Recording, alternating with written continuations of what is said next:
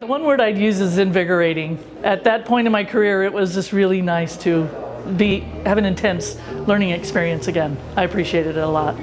I, I felt transformative. I learned so much that sort of rejuvenated me. So I very much felt it was helpful. I felt this was very thorough and very efficient. And I, I feel like I learned a lot more through these courses than in tradi most traditional classrooms. Eye opening? Does that count as one word?